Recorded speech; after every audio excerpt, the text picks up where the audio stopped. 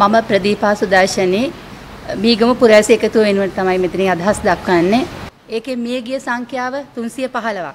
කුඩා දරුවන් 45 දෙනෙක් අමු අමුවේ ඝාතනය කරා. විදේශිකයින් 40 දෙනෙක්. තුවාල ලැබුවන් 400කට වැඩි. එදා 2019 මේ අද දවසේදී අම්මාවරුන් මේ මිනි බදාගෙන අඬපු දවසක්. හැබැයි මම මේ මොහොත 2009 මයි 18 වෙනිදාටත් ගෙනියනවා. එදත් උතුරේ අම්මලා එදා ඒ මිනි බදාගෙන ඇඬුවා. ඒ වෙනුවෙන් දකුණේ අපි කතා නොකිරීම අද අපේ නිවසට 2019 අප්‍රේල් 19 වෙනිදා දෙවුන අපිට මිනි බදාගෙන අඬන්න. ඉතින් මම හිතනවා මේක අවස්ථාවක් කරගන්න ඔවුන්ගෙන් සමාව ඉල්ලන්න. එදා ඒ මිනි බදාගෙන අඬපු අම්මලා ඒ දුකේදී ඒ වින්දිතේ විතරක් නෙමෙයි මුස්ලිම් ජනතාවත් ඒ නිසාම සාමාන්‍ය ජනතාව පීඩාවට පත් වුණා. එදා ඒ මීගම පුරවැසි එකතුව බිහි වෙන්නේ ඒ වින්දිතේන්ට වගේම සාමාන්‍ය ජනතාවත් පීඩාවට පත් නොවිය යුතුයි. මුස්ලිම් ජනතාව වෙන්න තමයි මීගම පුරවැසි කමිටුව එකතු වෙන්නේ. මේ මීගම පුරවැසි කමිටුව විසින් ඉදිරිපත් කරන තොරතුරු පත්‍රිකාව මේකේ තියෙනවා මේ සිද්ධියට සම්බන්ධ 2017 ඉඳන් මේ සිදුවීම 2019 වෙනකන් කොහොමද ආවේ කියන එක.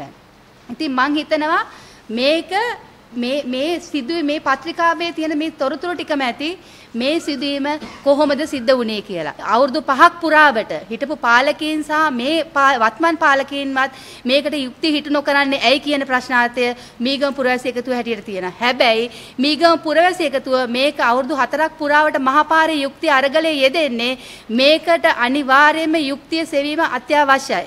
මොකද නැවතත් තව කාලෙකදී ඉදිරි මැතිවරණයකදී මෙවැනි දෙයක් නොවේ කියන එක අපිට හිතන්න පුළුවන්ද? ඒ වගේම මම මෙහි මොහොතේ විශේෂයෙන්ම ඉදිරි මැතිවරණවලදී එන විපක්ෂ ඇතුළු සියලුම විපක්ෂ වලින් කාරුණික ඉල්ලා සිටිනවා මේ පාස්කු ප්‍රහාරය තුවා හිඟන්නන්ගේ තුහලයක් ලෙස පාවිච්චි කරන්න එපා කියන එක. මේ යුක්තිය කියන එක බොහෝම අත්‍යවශ්‍යයි. බලය බලය ඉලක්ක කරගෙන යන ගමනේදී මේ වින්දිතීන්ට යුක්තිය සහ උතුරේ අයට යුක්තිය දකුණේ අයට යුක්තිය මේ සියලු ඝාතන වලට යුක්තිය කියන පදනම විතරක් ගන්න. බලය කියන එක කේන්ද්‍ර කරගන්න එපා කියන එක මම මේ අවස්ථාවේදී ඉල්ලනවා.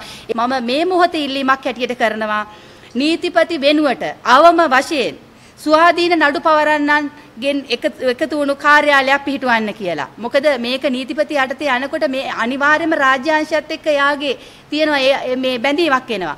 ඉතින් මේකට ස්වාධීන වූ නඩු පවරන්ගේ එහෙම කාර්යාලයක් පවත්වන්න කියලා මම මීගම පුරවැසි කමිටුව හැටියට මේ පාස්කු ප්‍රහාරය වෙනුවෙන් ඉල්ලා සිටිනවා. ඊළඟ එක තමයි මේ පරීක්ෂණ සඳහා ජාත්‍යන්තර සම්බන්ධතාවය ලබා ගන්න කියන එක. ඒ දෙක මූලික වශයෙන්ම මේ මොහොතේ මම ලංකා රජයෙන් විශේෂයෙන්ම ඉල්ලා සිටිනවා සහ මහ ජනතාවට මේ වෙනුවෙන් බලපෑම් කරන්න කියලා. විශේෂයෙන්ම සභාවටත්. ඒ වගේම කතෝලික සභාවටත් මම මේ මොහොතේ කියන්න කැමති මේක වාර්ෂිකව සමරන සැමරුමක් හැටියට තියාගන්න එපා. මේක කතෝලික ජනතාවට විතරක් නෙවෙයි. මේක සියලු මිනිස් ඝාතන වලට සම්බන්ධ වුණු සිද්ධියක්. ඉතින් අනාගතයේදී මෙවැනි දෙයක් නොවෙන්න නම් කතෝලික සභාවට මේ මොහොතේ තියෙන අභියෝගය තමයි මේකට ඒ පල්ලි මූලික වුණු සභාව ඒකාබද්ධ වුණු වැඩපිළිවෙලක් ගොඩනගන එක. ඒතකොට මීගම පුරවැසි එකතුව තියෙනවා CSR එක තියෙනවා. ඒවත් එක්ක එකතු වුණු සියලු ජාත්‍යන්තර සහ සියලු දේශපා විපක්ෂ දේශපාලන සියලු දෙනා එකතු වුණු සියලු බලපෑම් කළ හැකි ව්‍යුහයක් වෙනුවෙන් එකතු වෙන්න කියලා මම පල්ලියට මේ මොහොතේ ආරාධනා කරනවා. ඒ වගේම පියවරුන්ටත් මේ පිළිබඳව යුක්තිය පිළිබඳව කතා කරන්න තමන්ගේ පූජාව අල්තාරය පාවිච්චි කරන්න කියලා. මොකද එහෙම කරොත් තමයි මේ කතෝලික ජනතාවටත් දැනෙන්නේ මේක මිලේච්ච මිනිමරුමක් කියලා. මේක සාමාන්‍යකරණය කරන්න දෙන්න එපා.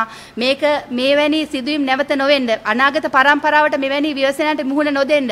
අම්මලාට තමන්ගේ දරුවන්ව බදාගෙන අඬන ලෝකයක් නිර්මාණය නොවෙන්න සියලු දේශපාලන පක්ෂ කතෝලික සභාව සහ සියලුම රාජ්‍ය නොවන සංවිධාන සහ සිවිල් ජනතාවට මම මේ මේ මොහොතේ ආරාධනා කරනවා මේ යුක්තිය සෙවීමේ ගමනට එකතු වෙන්න කියලා.